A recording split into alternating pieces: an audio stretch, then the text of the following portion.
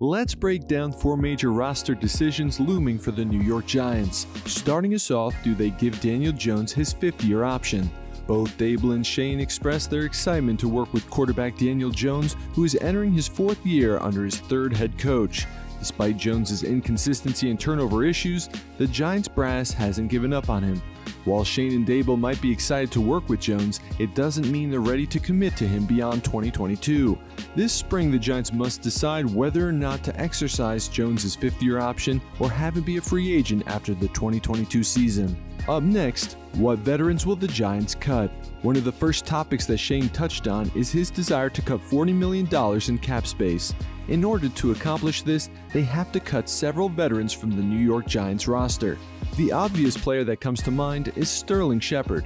Shepard is the longest tenured Giant, but he's been unable to stay healthy in his six seasons with Big Blue.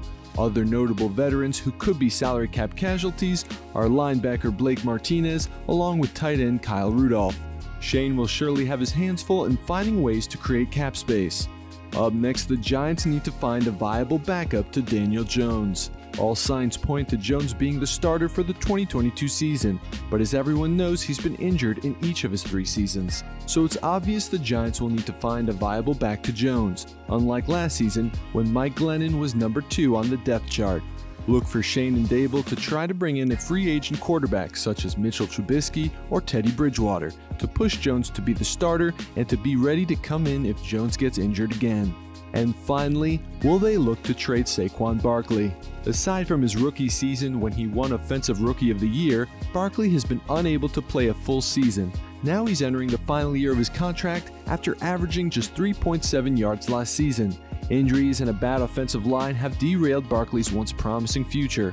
With the New York Giants being years away from being contenders, it may behoove them to trade the second overall pick from the 2018 draft to a contender and get draft capital that can help them for years to come.